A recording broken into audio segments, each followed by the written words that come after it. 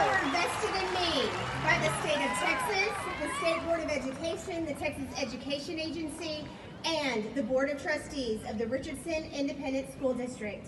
I now declare each student who will be receiving a diploma to be a graduate of the Lake Highlands High School.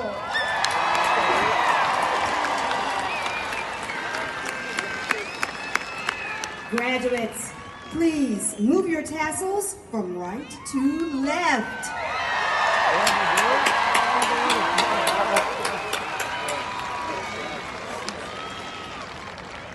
It is now time